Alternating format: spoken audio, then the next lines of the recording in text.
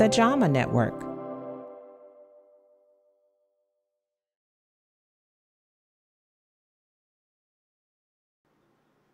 When a patient is diagnosed with pneumonia, doctors commonly use azithromycin to treat the infection. However, some studies suggest the antibiotic has been associated with an increased risk of heart problems. Since this is something that we commonly use for pneumonia, we wanted to see whether or not this was also true for patients uh, with pneumonia who get this antibiotic. Dr. Eric Mortensen from the Dallas VA Medical Center and co authors examined the outcomes of nearly 65,000 veterans over the age of 65.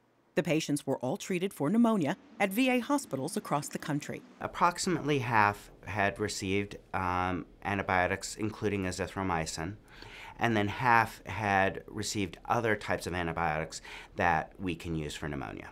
Researchers studied survival rates of these patients during a 10 year period, and also whether they experienced heart attacks, heart failure, or abnormal heart rhythms. Patients who received azithromycin had a small increase in the number of heart attacks, however, had much better survival than patients who did not receive azithromycin. The study appears in JAMA, Journal of the American Medical Association. For every one heart attack that did not lead to death, that it actually saved seven lives when uh, patients with pneumonia received azithromycin. Catherine Dolf, The JAMA Report.